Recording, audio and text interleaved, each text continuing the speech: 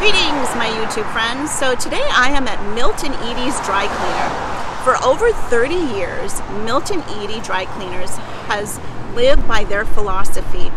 All customers leave happy always. That means delivering what no other dry cleaner in the area can. Milt began at the age of 10 of helping his father with deliveries in Brooklyn.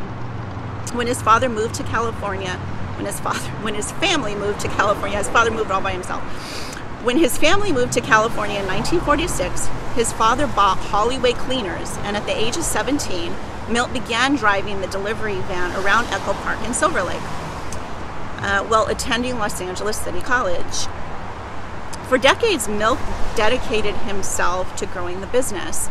In the mid 1980s, Milt, advising a friend on purchasing Regal Cleaners in Burbank, decided to come out of retirement uh, to become a partner in the venture and eventually purchased the business in 1988. Initially, it was called Milt and Michael's Dry Cleaners, Michael being his son in law, but in 2004 it was renamed Milt and Edie's in honor of his wife. Customers are first greeted by an inspirational message on the parking lot marquee.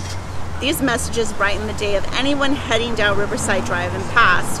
Today it says, Learn from yesterday, live for today which I think is is an awesome message. When entering the building, the aroma of fresh popcorn popping lets you know that this is not an ordinary dry cleaners. The pink accents and cute puppies bring a feeling of warmth and welcome. Milt passed away in two, uh, December 2017, and his daughter Beth and son-in-law Michael live up to the integrity and promise that Milt believed in. This is stop number 14 of my tour of Burbank. I'm Regina Macdonald. I'll catch you on the next video.